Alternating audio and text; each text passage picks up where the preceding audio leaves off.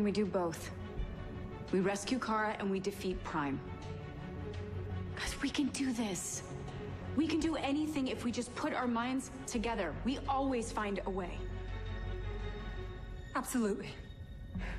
There's gotta be another way to find Prime's lair. There is still a way.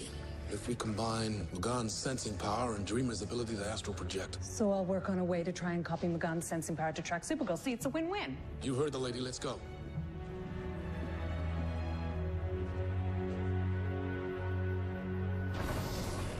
Hey, thanks for backing me up. No, of course. Okay, so what are you thinking? Q-waves. I use them to replicate Malefic's powers. I think I can do the same with M'gann's sensing abilities.